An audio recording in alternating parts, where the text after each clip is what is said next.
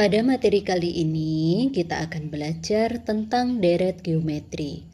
Diketahui deret geometri 3, negatif 6, 12, negatif 24, dan seterusnya.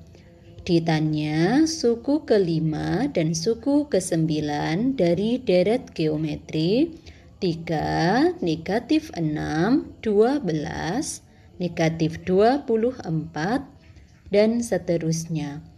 Langkah pertama kita menentukan suku pertama dan rasio dari deret tersebut.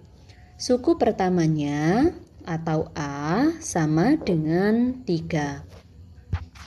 Rasio sama dengan U2 dibagi dengan U1.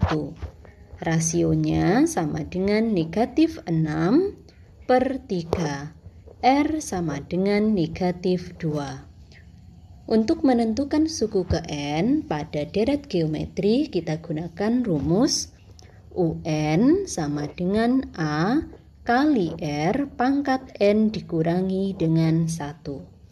Yang ditanyakan adalah suku kelima dan suku kesembilan.